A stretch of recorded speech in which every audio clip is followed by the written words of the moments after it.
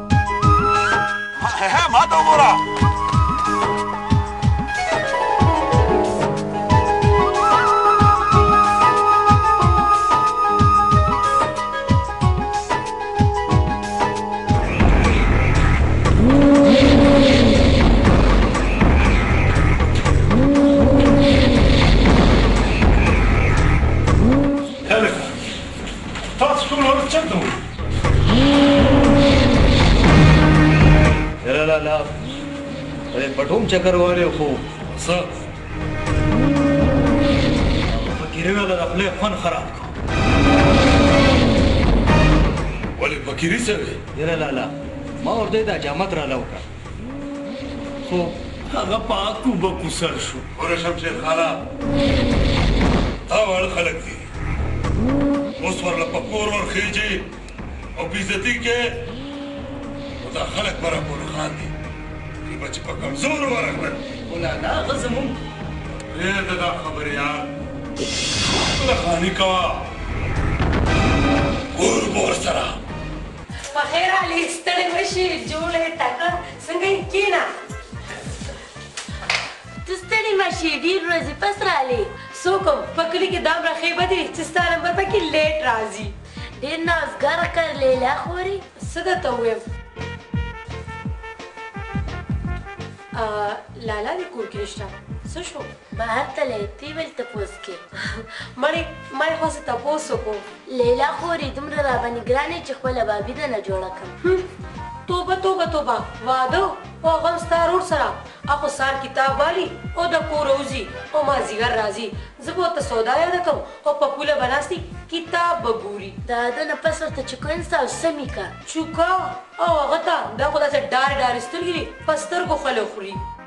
ښه زه دنه ورځم بیا مې بابا غوسه کیږي. لیلا خور کیره ته چای څکه. نه په مخه مې ښه. وعلیکم سلام.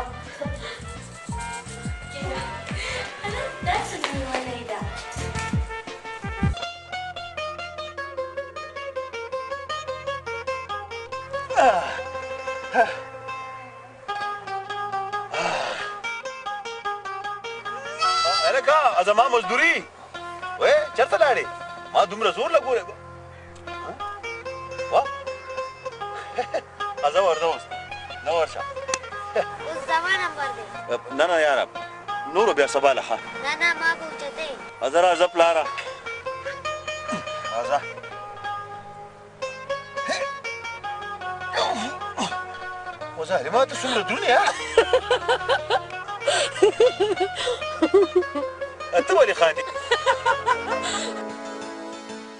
دا ما پور دی وخندل ها